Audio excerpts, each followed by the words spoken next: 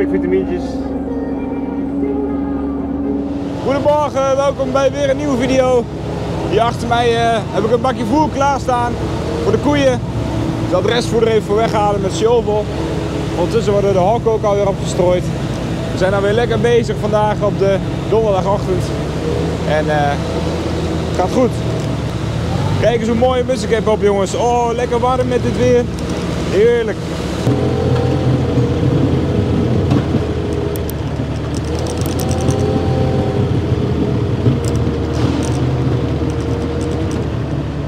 Kijk, de koeien doen even een stapje terug. Dan heb ik het oude voer ervan weggehaald en dan krijgen ze weer nieuw vestvoer.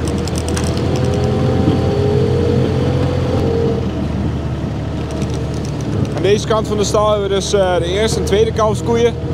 En aan die kant van de stal de oudere lacta lacterende koeien, dus uh, lactatie 3 en hoger.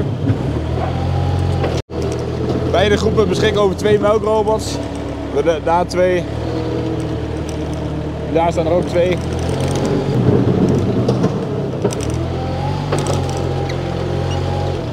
Maar goed, waarom hebben we dat nou eigenlijk zo gedaan? Deze groep zijn allemaal jonge dieren. Die zijn vaak wat, uh, ja, wat springeriger, wat speelser nog. En die lopen nog wel eens een oude koe omver. Een oude koe kan ook uh, heel eigenwijs zijn en een jong dier omver drukken. Maar uh, we proberen er, ervoor te zorgen dat de oude koeien niet vallen. Of, maar in ieder geval dat ze geen beschadiging krijgen tijdens het ruzie maken met elkaar. Dus daarom zijn die groepen verdeeld.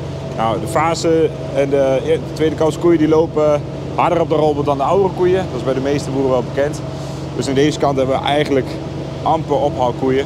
En bij deze kant dan uh, iets meer. Het zijn wat oudere koetjes, die moet je even een keertje ophalen naar de robot. Even een, keer, uh, een keertje helpen aansluiten of wat dan ook. Wat grotere uiers of wat... nou, je kent het wel. Van die koeien die even een beetje hulp nodig hebben. Is ook wel logisch hè. Oudere mensen hebben ook wel eens een beetje hulp nodig. Zo werkt dat met koeien ook.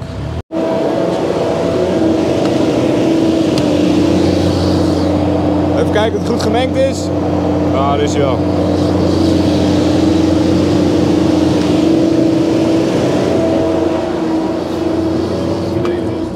Maar de persoon die je belt is niet beschikbaar. Altijd opletten als je de rijdt. Spiegels, achteruitrijcamera.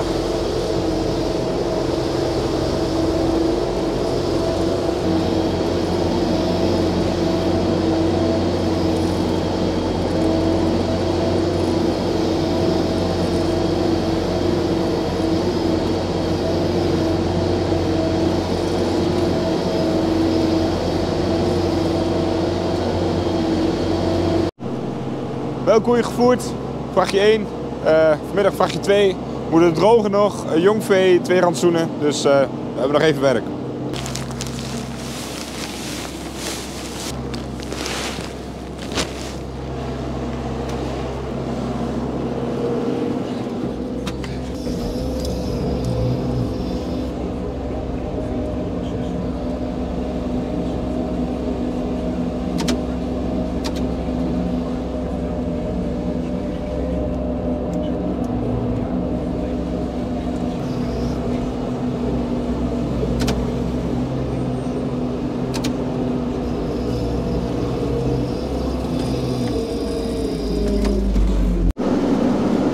Tarwegistconcentraat.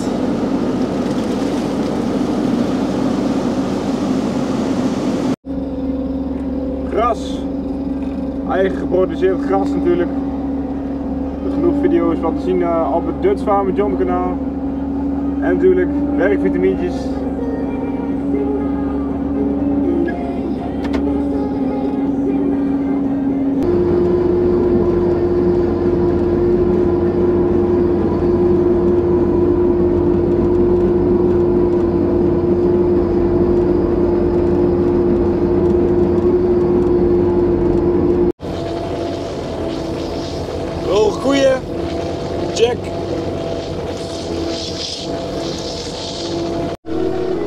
Je hoort hem eh, heel hard joelen. Dat is de snelle mengmethode, zeg maar. Kijk, de vezels gaan hard heen en weer. Hard ronddraaien. Klein rantsoenetje, dus we mengen hem even goed stevig en dan uh, zit hij goed in elkaar.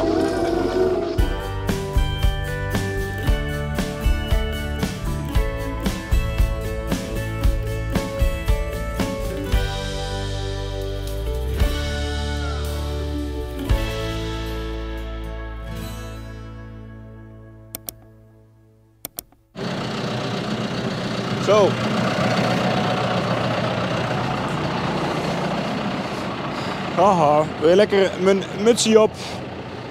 Eh, gewoon even laatst een beetje mest in de keeper. Dan is weer opgeruimd van het erf af.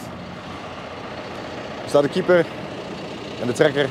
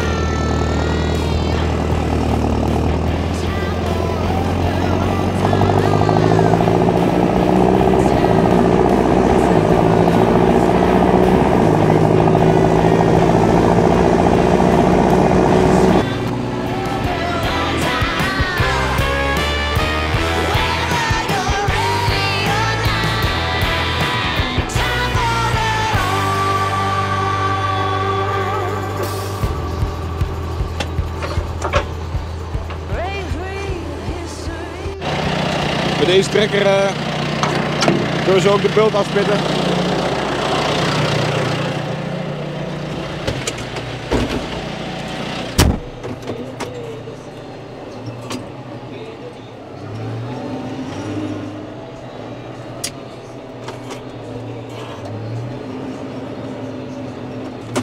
Schuifje eraan, kunnen we de zand mee afschuiven.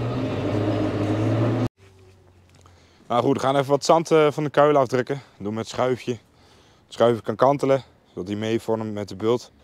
En eh, het is een mooie blubberband op de bulten. Alles is zeikernat. Dus ook het zand wat op de bult ligt. Zijn zelfs delen waar het eraf spoelt. Met dit, eh, met dit weer is daar gewoon heel weinig aan te doen. En je hebt er maar mee te dealen. Maar er wordt wel een mooie puinzorg van. Dus we gaan eens even kijken wat we kunnen doen.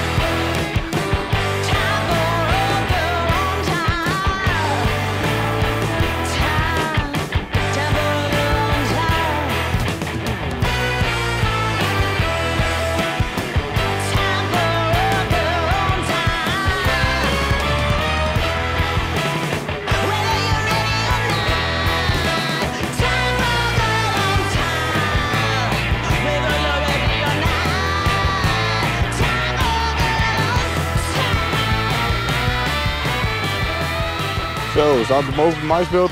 Mijn schuifje even eraf gehaald. Als je het goed doet, hoef je niet meer met de schop erbij langs. En eh, als je het goed doet, dan maak je ook geen gaten. Maar eh, dan moeten we er even uitblurren zo. Oepsie.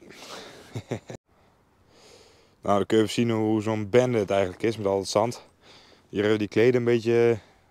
Ja, ze liggen eigenlijk maar eh verstrond hier eh, op het zand. Normaal liggen ze over de bulten heen om het zand te beschermen. Vaak groeit dan het onkruid groeit dan een beetje in de kleden en blijft alles eh, liggen.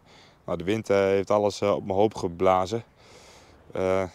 Wellicht in een droge week kun je die opruimen. Maar je ziet dat de modder heb ik net omhoog gedrukt. En het zakt wel weer naar beneden. De beste optie is om gewoon even met de kraan te, eraf te halen. Vanaf de zijkant of die kant op te drukken. Kan, met een paar dagen kan het wel. We gaan eerst weer een stukje verder voeren.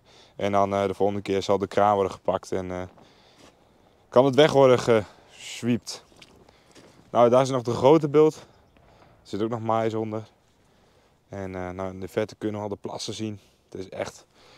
Het is zo nat. Het is zo, alle sloten staan zo vol. Het is eh, ongelooflijk. Nog niet vaak eerder gezien.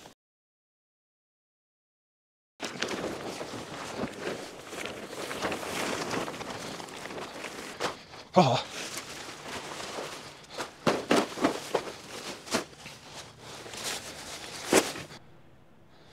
Nou goed, plastic naar achter getrokken. Ziet weer mooie gele mais.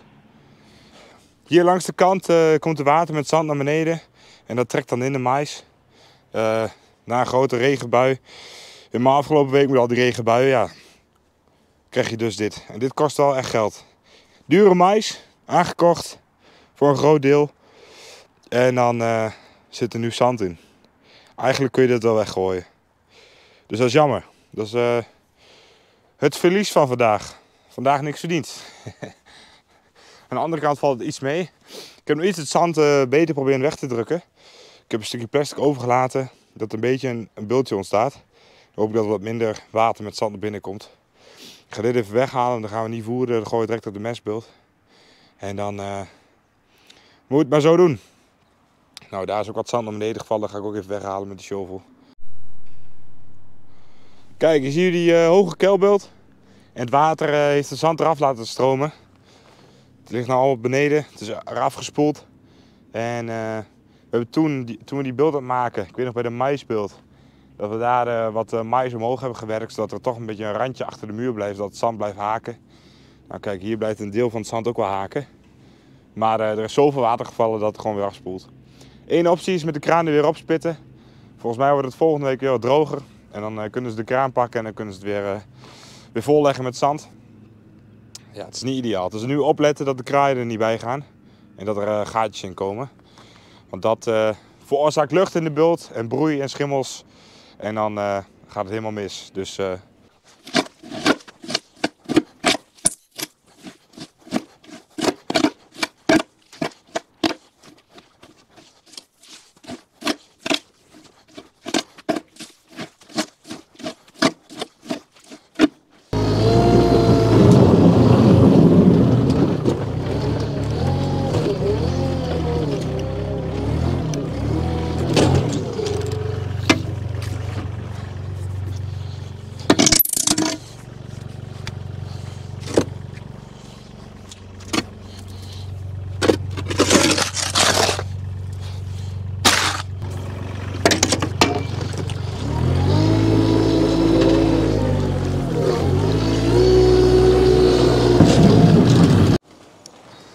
dan komen we bij het einde van deze vlog. Ik hoop dat je het leuk vond.